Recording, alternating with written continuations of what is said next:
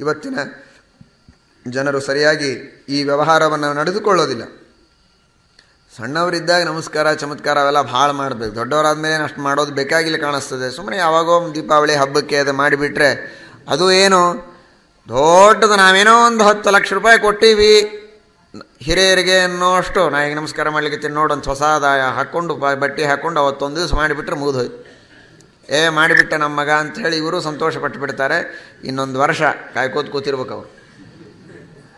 ಅಲ್ಲ, ಪ್ರತಿನಿತ್ಯದಲ್ಲಿ ಪ್ರಾತಃ ಕಾಲದಲ್ಲಿ ಸಾಯಂಕಾಲದಲ್ಲಿ, ಮನೆಯಲ್ಲಿರತಕ್ಕಂತಹ ತಂದೆ ತಾಯಿಗಳಿಗೋ, ಅತ್ತೆ ಮಾವಂದಿರಿಗೋ, ಹಿರಿಯರಿಗೆ, ಜ್ಞಾನಿಗಳಿಗೆ, ಗುರುಗಳಿಗೆ, ವಯಸ್ಸಾದವರಿಗೆ, ಅಣ್ಣಂದಿರಿಗೆ, ಅಕ್ಕಂದರಿಗೆ, ಎಲ್ಲ ರೀತಿಯಿಂದ ಬಾಂಧವ್ಯದೊಳಗೆ ಹಿರಿಯರು ಯಾರೋ ಅವರಿಗೆ ನಮಸ್ಕಾರ ಮಾಡಲೇಬೇಕು. ವಿತ್ತಂ ಬಂಧು ವಯಃಕರ್ಮ.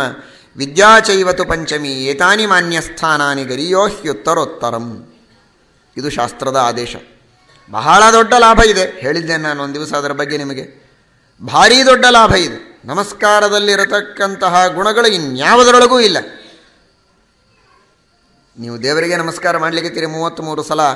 ಆದರೆ ಈ ದೇವರಿಗೆ ನಮಸ್ಕಾರ ಮಾಡಿದ್ದರಿಂದ ಏನು ಫಲ ಕೇಳಬೇಕು ಅಂದರೆ ಈ ತರಹದ ನಮಸ್ಕಾರವನ್ನು ಪ್ರತಿಮೆಯಲ್ಲಿದ್ದ ಪುಸ್ತಕದೊಳಗಿದ್ದ ನಿನಗೆ ಮಾಡಿದ್ದೇವೆ ಸ್ವಾಮಿ. ಇನ್ನು ಮೇಲೆ ಚಲಪ್ರತಿಮೆಗಳಲ್ಲಿರುವ ನಿನಗೆ ನಿತ್ಯದಲ್ಲಿಯೂ ನಮಸ್ಕಾರ ಮಾಡುವ ಭಾಗ್ಯವನ್ನು ನಮಗೆ ಕೊಡು. ನಮ್ಮಲ್ಲಿರುವ ಅಹಂಕಾರವನ್ನು ಸ್ವಲ್ಪ ಪಕ್ಕಕ್ಕೆ ಸರಿಸು ಅಂತ ಕೇಳಿಕೊಳ್ಳಬೇಕು. ನಿಜವಾಗಿಯೂ ಕೇಳಿಕೊಳ್ಬೇಕು ಬಹಳ ದೊಡ್ಡದಾಗಿರತಕ್ಕಂತಹ ಭಾಗ್ಯ ಅದು. ಆ ನಮಸ್ಕಾರಕ್ಕೆ ಸಮಾನವಾದ ಭಾಗ್ಯ ಇನ್ನೊಬ್ಬರಿಗಿಲ್ಲ. ನಮಗಿಂತ ನಿಮಗೆ ಬಹಳ ದೊಡ್ಡ ಭಾಗ್ಯ ಇದೆ. ನಮಗೆ ಧರ್ಮಶಾಸ್ತ್ರದ ನಿರ್ಬಂಧ ಉಂಟು. ಸಿಕ್ಕ ಸಿಕ್ಕವರಿಗೆ ನಮಸ್ಕಾರ ಮಾಡಲಿಕ್ಕೆ ಬರುವುದಿಲ್ಲ. ನಿಮಗೆ ಎಂತಹ ದೊಡ್ಡ ಭಾಗ್ಯ? ಕಂಡ ಕಂಡಲ್ಲಿ ನಮಸ್ಕಾರ ಮಾಡ್ಬೋದು ನೀವು.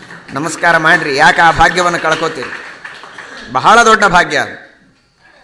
ಸನ್ಯಾಸಿಗಳಿಗೆ ನಿಯಮ ಉಂಟು. ಮಾತಾ ಜ್ಯೇಷ್ಠಯತಿರ್ ಗುರುಹು ಅಥವಾ ಮಾತಾ ಜ್ಯೇಷ್ಠಯತಿರ್ ಹರಿಹಿ ಎಂಬುದಾಗಿ ಮೂರು ಯತೀನಾಂ ಹಿ ತ್ರಯೋವಂದ್ಯಾಹ. ತಾಯಿಗೆ ನಮಸ್ಕಾರ ಮಾಡಬಹುದು, ಜ್ಯೇಷ್ಠ ಯತಿಗಳಿಗೆ ನಮಸ್ಕಾರ ಮಾಡಬಹುದು, ಶ್ರೀಹರಿಗೆ ನಮಸ್ಕಾರ ಮಾಡಬೇಕು. ದೇವತೆಗಳು ಸಿದ್ಧ. ಆದರೆ ಬೇರೆಯವರಿಗೆ ನಮಸ್ಕಾರ ಮಾಡೋ ಹಾಗಿಲ್ಲ. ನಿಮ್ಮನ್ನೆಲ್ಲ ನೋಡಿದರೆ ಅಸೂಯೆ ಆಗ್ತದೆ ನೀವು. ಎಷ್ಟು ಜನರಿಗೆ ನಮಸ್ಕಾರ ಮಾಡೋ ಭಾಗ್ಯ ಇದೆ ನಿಮಗೆ? ಕಂಡ ಕಂಡಲ್ಲಿ ಭಗವಂತನ ಉಪಾಸನೆಯನ್ನು ಮಾಡಬಹುದಲ್ಲ ನೀವು? ಮಾಡಿರಿ.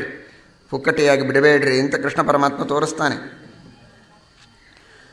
ನಮಸ್ಕಾರ ಮಾಡಿದ.